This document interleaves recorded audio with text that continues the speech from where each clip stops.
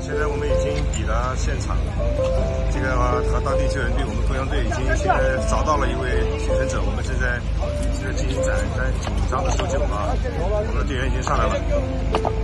好，现在是早上的这个九点，我们已经在这个保林镇呢，我们找到了一对一个大人和一个小孩，刚刚从废墟当中被我们一起联合挖出来，这个但是我们看可能已经没有生命体征了。这个地方的伤亡很厉害，我们看这个旁边的废墟，